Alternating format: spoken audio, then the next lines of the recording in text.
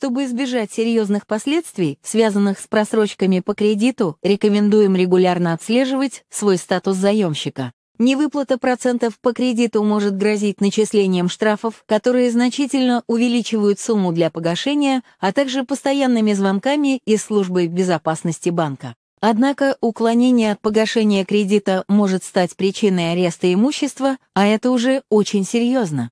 Как правило, заемщики перестают вносить платежи в связи с возникшими финансовыми трудностями, но случается, что человек просто забывает о ежемесячных платежах, особенно если сумма займа невелика. Но есть и такие клиенты банков, которые берут и затем не выплачивают кредит из любопытства, что же будет делать кредитор в таком случае. Проверить, нет ли у вас долгов, можно несколькими способами. В нашей статье мы собрали топ-5 вариантов. Все они бесплатные и очень удобны. Подробнее читайте в статье.